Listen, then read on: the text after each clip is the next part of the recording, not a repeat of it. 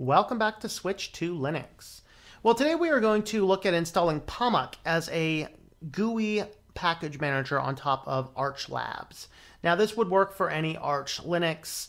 Um, I'm particularly just running Arch Labs. Now, of course, uh, we have Pacman in this, uh, which is a package manager from the command line is absolutely beautiful. It works great. If you know exactly what software you need to install and you're not going to be poking around with other software packages, just keep using Pacman.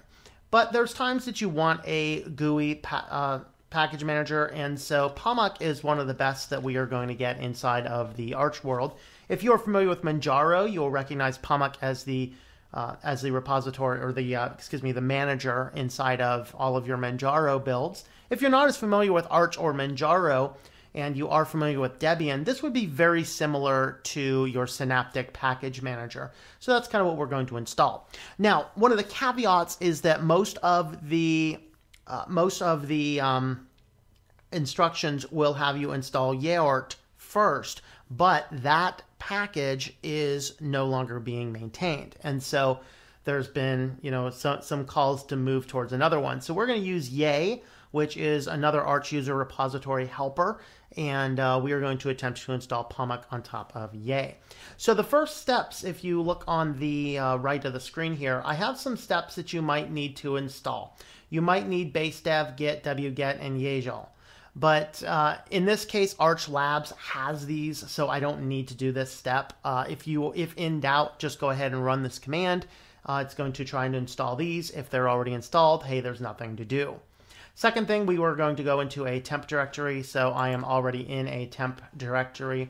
And then what we are going to do is we are going to uh, git clone, and we're going to grab our uh, yay. So aur.archlinux.org forward slash yay.git.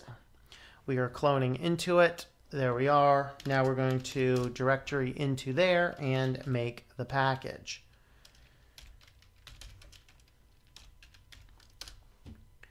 Okay, so this should be able to make the package. It's running checking dependencies. Hopefully I have everything. If not, then we'll just have to go in and figure some things out.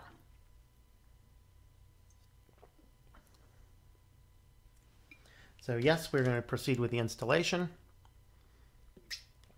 Our little Pac-Man over there is uh, eating up our little uh, Pacman dots as we are downloading what we need.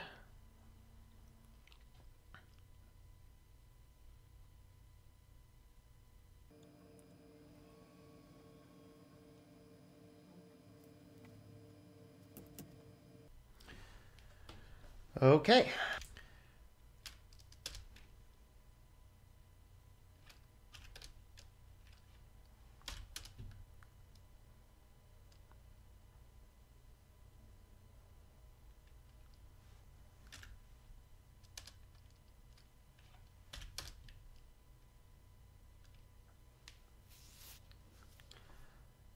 So I went back to the classic. I hit the none in this case. It was uh, needing information that I wasn't sure what we needed there. So it says sources are ready. It says it's building.